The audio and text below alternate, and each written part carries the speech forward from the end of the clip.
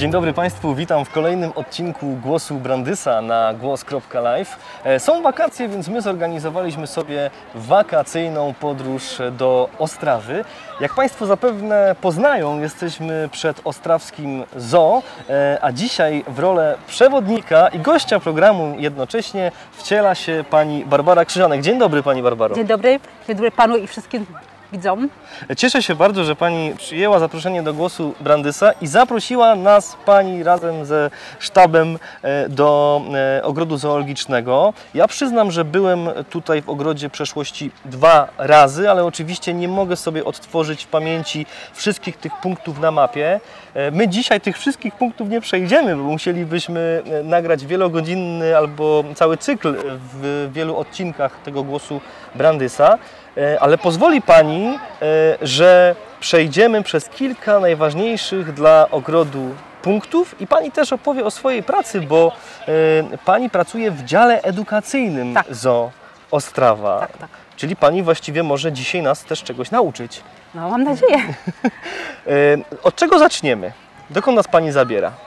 To bym zaczęła może od, jak się mówi, od Adama, w tym wypadku od miejsca zwane po prostu Park Górniczy w pobliżu kopalni Zarubek i, i Aleksander. I tam w tym parku górniczym w roku 1949 e, powstał taki plac odpoczynkowy dla górników i ich rodzin, ich dzieci, a tam były różne zjeżdżalnie, ko- korty tenisowe, różne po prostu atrakcje dla dzieci, a pan Bogumił Witek powiedział sobie, byłoby też dobrze wprowadzić w to jakiś akcent zwierzęcy i sprowadził koziołka sarniego, pięć sarenek e, i kilka bażantów. I takie były nasze skromne zaczątki. Areał w tym miejscu był 6-hektarowy, więc bardzo niewielki. E, Wkrótce się ta ilość zwierzaków zaczęła zwiększać, zwiększać, zwiększać i podjęto po prostu e, z przyczyn jakichś tam wyższych, że byłoby dobre w Ostrawie sprowadzić zoo. I wtedy pomyślano, że tam to jest stosunkowo za małe i wybierano różne, różne miejsca w Ostrawie. Jedna e, z pozycji, a ta w końcu wygrała, to był wielki las ostrawski, zwany też Stromowką. Jest tutaj piękny, zróżnicowany teren, dużo źródeł wody, piękny, stary, prawie że 200-letni las. Także to wszystko e, grało na pewno rolę w tym, że tutaj umiejscowiono nasze zoo. E, Nasze zoo powstało w roku 1951, e, 26 października i to jest właśnie taka data, kiedy podpisano po prostu e, listę e, inauguracyjną, taką listę po prostu e, od otworzenia, założenia naszego zoo. I więc, jeśli sobie Państwo łatwo podliczą, że w tym roku świętujemy właśnie 70 lat naszej placówki. No i proszę, od razu nam się robi e, taki odcinek właściwie z okazji jubileuszu ZO Tak się w. Ostrawie. Tak się dobrze złożyło. To nie było wyreżyserowane, drodzy Państwo, od razu mówię. E, Po prostu robimy sobie wakacyjne podróże i wiele jest rodzin, nie tylko e, z Czech, e, ale też z drugiej strony Olzy, bo to zoo jest bardzo znane w okolicy, blisko z Polski, e, a Pani dzięki temu, że jest Pani dwujęzyczna, to może oprowadzać grupy zarówno po czesku, jak i po polsku. Zwłaszcza, zwłaszcza e, właściwie sporo z Polski, zwłaszcza w dni, które są świąteczne w Polsce. To jest nawet może więcej języka polskiego słychać niż języka czeskiego. E, no i wtedy przy, przygotowujemy dla gości z Polski, jeśli rzecz jasna nie jest po prostu okres pandemii koronawirusa, to przygotowujemy nawet specjalny program dla gości z Polski. Składa się on z pokazowych karmień, e, Dalej są stoliki dotykowe z różnymi eksponatami, gdzie można się, się dotknąć. I jest takie pokazowe karmienie lemurów e, na wyspie Raj Lemurów, też w języku polskim. To my też podejrzymy, Mhm. jak to tutaj w środku wygląda. Chodźmy zatem i ja też poproszę w takim razie o zwiedzanie w języku Mhm. E, polskim. Ja też jeszcze mogę podkreślić, że właśnie e, to, ten areał po prostu powstał w latach 60., więc są tutaj niektóre budowle jeszcze z tych lat, takie artefakty, a większość budowli już jest unowocześniona, udoskonalona, upiększona i poddana takim zabiegom, żeby sprostała i wymaganiom po prostu dzisiejszych surowych e, po prostu jakichś e, wymagań dotyczących opieki nad zwierzętami.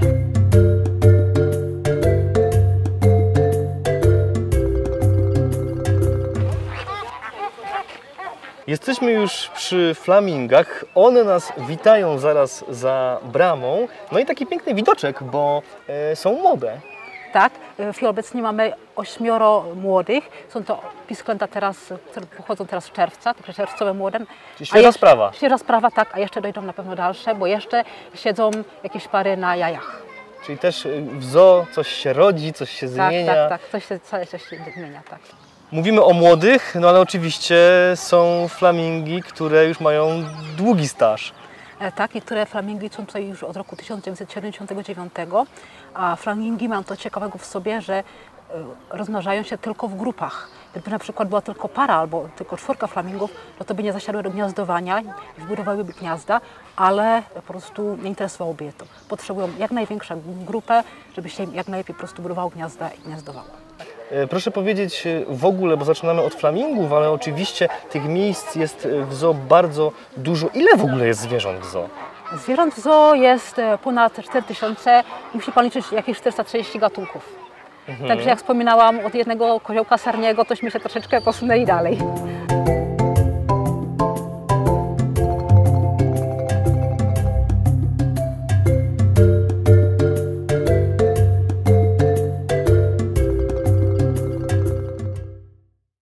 Zabrała mnie Pani teraz w kolejne miejsce na mapie naszej podróży po ostrawskim zoo. Za nami znajdują się jelenie. Co w nich jest takiego ciekawego? Bo na pewno jakaś ciekawostka się kryje. E, No na pewno jest ciekawa sprawa. E, To są jelenie, to powiedziała, wytępione na wolności, e, a stało się to tak, że no pod koniec XIX wieku były prawie że wytępione z powodów łowienia. Łowiło, polowali na nie z powodu skór, mięsa. E, Były też piękne, były po prostu hodowane i przez cesarza w oborach- oborach cesarskich i tam je odkrył e, misjonarz Armand Dawid, który powiedział, to jest nowy gatunek jeszcze nieznany i tak się ustaliło, że 20 ga- tych jeleni pojechało do Europy. To było ich wielkie szczęście, ponieważ potem była w Chinach rewolucja, wszystkie te jelenie po prostu zmarły, a zostało tylko ostatnich 20 jeleni, które, z które rozorowano do właśnie dzisiejszego dnia.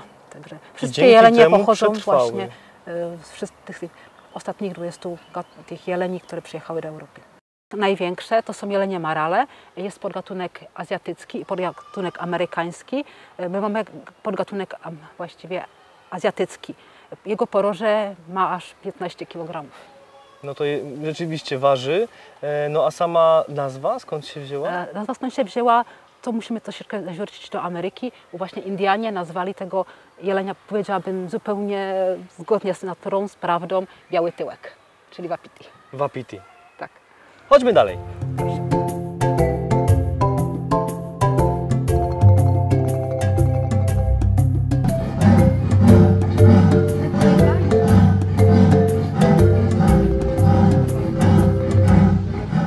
Pani Barbaro, przed chwilą ten y, ryk, y, ryk Lamparta, tak. to było ze strachu, czy tak po prostu? Nie, tak po prostu komunikują, po prostu wietrzą, że tu jest więcej jeszcze ssaków drapieżnych i tak sobie ogłaszają, to jest moje terytorium, tu mi proszę nie wchodzić. No w ogóle ta cała część tutaj to jest zarezerwowana dla kotów. E, Tak, dla kotów, a zwłaszcza teraz mieliśmy właśnie pawilon zwierząt indyjskich, e, gdzie jeszcze oprócz lamparta lankijskiego jeszcze mieszkają kotki rude. To są z kolei jedne z najmniejszych kotów na świecie. E, Dalej są tam jeszcze bindulongi orientalne. To są zaś z kolei ciekawe tym, że jako jedne z mała ssaków drapieżnych mają czepny ogon. No i właśnie królem tego pawilonu zwierząt indyjskich jest lew. I on tu rządzi w tym zoo. No, da się powiedzieć. Nie zupełnie w zoo, ale właśnie w tej ekspozycji tak.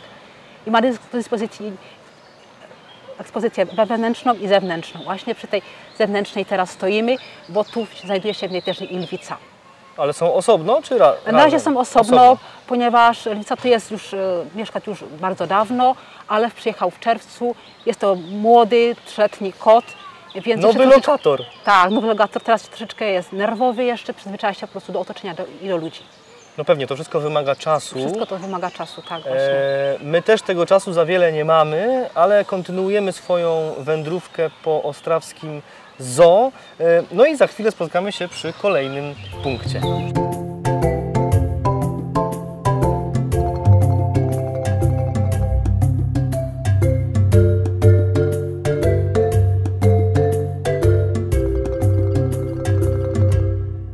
Teraz, drodzy Państwo, naprawdę wielka rzecz, bo jesteśmy przed wybiegiem słoni. Proszę mi powiedzieć, Pani Barbaro, czy to są słonie afrykańskie czy indyjskie? Słonie indyjskie. Zasadniczo słonie indyjskie są troszeczkę mniejsze, mają mniejsze uszy niż słonie afrykańskie. Jeszcze taka jedna sprawa, przedtem tam był słoń samiec, a tu jest grupa samic z młodymi i proszę zauważyć, że tylko samiec ma piękne podkężne kły, a samice tych kłów prawie że mają, albo bardzo niewidoczne. No, y, słonie są bardzo okazałe. Y, Ile ten samiec może ważyć? 5 ton. Nie chciałbym, żeby mi Słonie nadepnął afrykańskie na, mają na nawet stopę. 7 i więcej. Co się stanie? Zmiażdży mnie, jakby mi tak nadepnął? A jakby nadepnął ładnie palcami, to by zmiażdżył pięknie, a jakby nadepnął piętą, to tam pod piętą ma e, taki, po prostu, taką poduszkę z takim gelem amorty- amortyzującym wstrząsy, to by się nic nie stało. To by pan miał takie pan uczucie, jakby pan spadł jakiś worek piachu albo mąki na nogę. To pan by przeżył. No, chwała Bogu, że przynajmniej y, 50 na 50 można mieć jakieś rozróżnienie i, szansę, że albo palcami, albo, albo piętą. W każdym razie Tak. widzimy całą rodzinkę. E, No nie to zupełnie rodzinka, ponieważ e, ten samczyk przyjechał dopiero niedawno, e, jako 20-letni. A dziewczyny za nami? E, Nie, nie, one tu już były przedtem. Oho. Także te dzieci to nie są, nie, nie są tego samca. Wróćmy jeszcze do tego rozróżnienia słoni indyjski, słoni afrykański. Któremu jest bliżej do przodka, do mamuta? No, bliżej jest słoniowi indyjskiemu, e, a nawet do tego stopnia, że słoń indyjski jest bardziej spokrewniony z mamutem niż słoniem afrykańskim. Dlaczego? E, Tak to jest dane genetycznie po prostu. Tak zbarali genetycznie, że tak to wyszło. No, ale jakby dzisiaj y, są jakieś cechy, które bardziej właśnie tego słonia No upodobniają jednak do jest ta genetyka, przodka. a jednak widać, że właśnie słoń indyjski, zwłaszcza maluchy, są po prostu bardziej włochate. Aha, Ale to... to, to pozostały włosy. No tak. Ale inaczej właśnie mamut to jest taki kuzyn, ale nie przodek słonia. My mamy tu taki piękny model jedne, jeden do jednego, model mamuta e, zborny, który był wykopany właśnie przy e, zbieraniu gliny ceglarskiej, a potem był wystawiany w, e, w muzeum w Lipsku. A jak muzeum w Lipsku po prostu zostało zbombardowane podczas wojny, to zostały tylko parametry i na zas- tak w podstawie tych parametrów był nasz model zbudowany.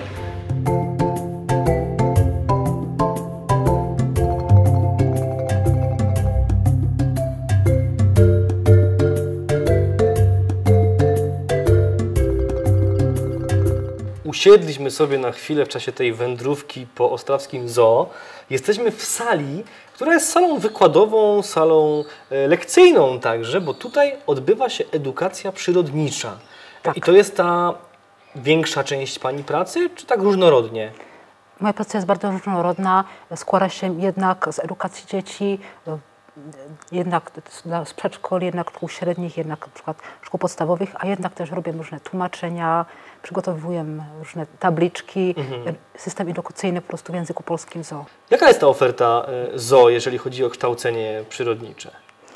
E, Oferta jest różnorodna, jak mu wspominałam, są różne przechadzki, na przykład przechadzka tematyczna zamierzona na maleństwa zoo, albo na ssaki drapieżne, bądź na słonie, bądź na e, zwierzęta z pawionu zwierząt afrykańskich, to, to znaczy żyrafy, e, elandy, e, koby nilowe i tak dalej.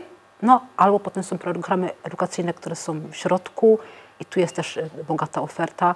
Jak można zobaczyć, to, są różne preparaty. Dzieje? Co się tu dzieje w ramach takich zajęć dla dzieci?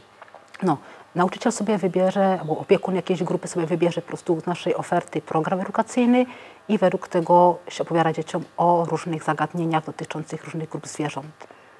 Na przykład mamy tutaj lemura, tak? Tak, lemur. Jest bardzo fajna sprawa, bo wszyscy go znają jako króla Juliana z Oczywiście. bajki Madagaskar.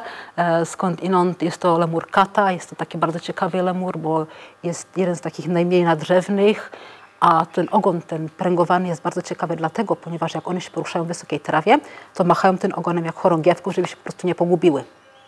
A u lemurów tam jest taka sprawa, że samice grają prym w grupie, a samce troszeczkę muszą słuchać, także Samce są pod pantoflem. no, no nie zupełnie pod pantoflem, ale po prostu słuchają po prostu tych samic. Spoglądam tutaj za panią. Mhm. E, y, czaszki z kłami. To po, po jakich zwierzętach to pozostało? Mogę do ręki? Bardzo proszę. To może pokażę. Jest jedna czaszka, jest druga czaszka. Ja chwycę może drugą, nie? O, dobrze, może porównamy. E, To proszę zobaczyć, ta czaszka to jest czaszka zwierzęcia wszystkożernego, bo widać jednak zęby kły potężne i jednak zęby trzonowe, które służą do miażdżenia roślin. To znaczy plus długi pysk, jest to po prostu niedźwiedź. A jest to niedźwiedź Kodiak, jeden z największych niedźwiedzi. E, Jeśli stoi na tylnych łapkach, to dochodzi do 3 metrów po prostu wysokości. No nie wygrałbym tego konkursu, bo bym nie odgadł. A tutaj? A e, drugi, nie, drugi zwierzak, to widać, żadnych zębów trzymowych po prostu tutaj nie ma. Jest to zwierzę typowo mięsożerne, krótki pysk, a co za tym idzie, po prostu jest to ssak drapieżny typu kot, a jest to tygrys, tygrys syberyjski. A właśnie tygrysy syberyjskie to są największe wśród kotowatych. Dzieciaki nie są przerażone? Oni troszeczkę się boją, ale wiedzą, że ich to nie ugryzie. Już nie. Proszę powiedzieć jeszcze, jeżeli chodzi o jakieś takie materiały, może pomogę? W porządku. E, Jeżeli chodzi o różne materiały edukacyjne, no bo wiadomo, że e, idąc sobie przez różne miejsca w zoo, człowiek nie zdąży wszystkiego się dowiedzieć, przeczytać. Mm, Dla tych bardziej zainteresowanych y, są też wirtualne zwiedzania. Można zawsze doczytać jakieś informacje chociażby na stronie internetowej. E, Tak, strony internetowe są, w języku polskim są prowadzone na bieżąco. Zawsze są tam jakieś ciekawe komunikaty prasowe. E, Staramy się wybrać, żeby były komunikaty prasowe bardzo róż- różnorodne, które dotyczyły jednak na przykład dni, e, na przykład był Międzynarodowy Dzień Lampartów, bądź Międzynarodowy Dzień Hipopotamów. Do tego dotyczyły te komunikaty, albo jeśli do- dojdzie do jakichś zmian, przyjedzie nowe zwierzę, urodzi się bądź wykluje jakiś ciekawy gatunek, na przykład nowo ośmiu małych flamingów, jak już wspominałam, w Tak. czerwcu teraz się wykluło. Jest spora rzesza maluchów wśród jeleniowatych i e, antylop. Także stare jest coś nowego, co można zakomunikować, czy można po prostu pocieszyć naszych o przeglądaczy stron internetowych. Oczywiście odsyłamy e, do tych e, wirtualnych wędrówek, ale najbardziej polecamy te wędrówki na żywo, bo tego świata wirtualnego mamy wszyscy dosyć w ostatnim czasie. E, Czy ZO prowadzi też działalność jakąś wydawniczą, czy wydaje różne materiały edukacyjne? Wydajemy tego raczej niezbyt dużo, ale coś się, coś się znajdzie. Dwa razy w roku sezonowo wydajemy po prostu taki e, zooczasopisy Tyton, po polsku by się nazywał, a po czesku to Czolek. Na razie polska wersja jeszcze nie wychodzi, ale może w przyszłości coś się pokaże. No a inaczej są takie różne pocztówki, plakaty, tematyczne bloczki, takie, takie, takie rzeczy, mniejsze rzeczy. Ostatnio chyba z publikacji takich ciekawszych była taka publikacja dedykowana 70 latom e, powstania zoo Strawa. Może jeszcze na koniec tylko spójrzmy za siebie. Co to takiego? Jak pan sądzi? Ja myślę, że to ma związek z nosorożcem. Nie, to jest Nie? róg. Róg czyjś? Jest to róg jednej z największych antylop. Antylopa, jasne. eland, po czesku antylopa lossi, a jest to nasz obywatel naszego safari.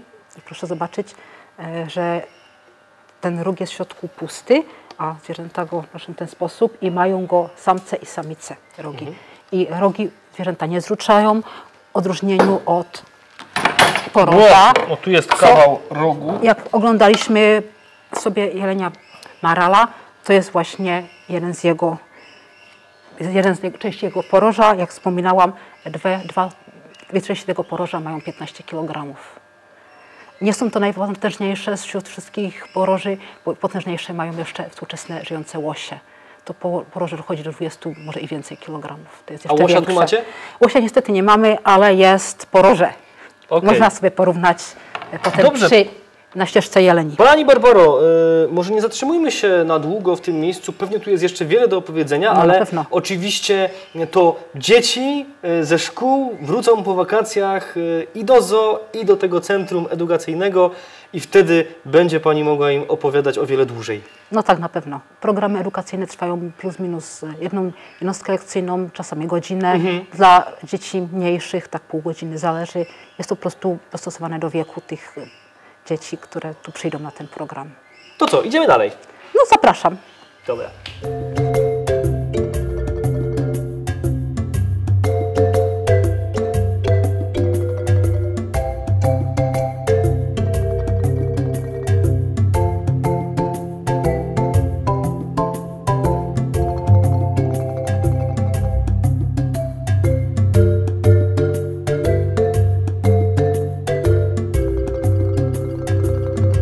Przyszliśmy do pawilonu ewolucji i kto inny, jak właśnie nie Lucy, wita nas w tym miejscu.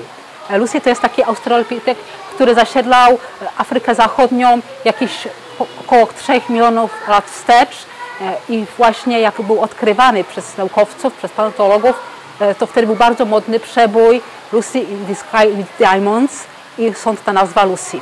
I tak oto Beatlesi znowu zasłużyli się, jeżeli chodzi o tak są kulturę, naukę. Są bardziej nieśmiertelni niż, niż, niż byli. Proszę powiedzieć, co w tym miejscu możemy zobaczyć? Jest to bardzo taki kompleksowy po prostu przekrój różnych ciekawych zakątków, gdzie można spotkać różne najciekawsze istotki od małych jakichś bez, bezkręgowców, przez małych ssaczków, przez aż jakieś prostu większe ptaszki i tak dalej, a wszystko to są jakieś gatunki ciekawe ewolucyjnie, które zasiedlają Afrykę. No i oczywiście, Jest ich tak ponad 200 gatunków. ale to nie wszystko, bo połączony z tym pawilonem jest też wybieg cały wielki dla szympansów. Tak, właśnie szympansy e, jako jedne z największych e, człowiekokształtnych, jako największe po prostu e, małp, małp są tutaj takimi królami tego pawilonu. Jest ich ósemka, z tego po prostu piątka samic i e, dwa dorosłe jeden mały samiec. A szympanzom też towarzyszą koczkorany Diana, też jest to spora grupka, jest to grupka mieszana, młode są też w tej grupce, że są samce, samice i młode. Za bardzo nie podejrzymy tych naszych szympansów tutaj w zoo, bo odpoczywają sobie spokojnie. No ale co, żegnamy się już chyba szybciutko z Lucy y, i idziemy do ostatniego punktu naszej dzisiejszej wyprawy. Czeka nas bowiem safari. Safari. Ruszamy za safari.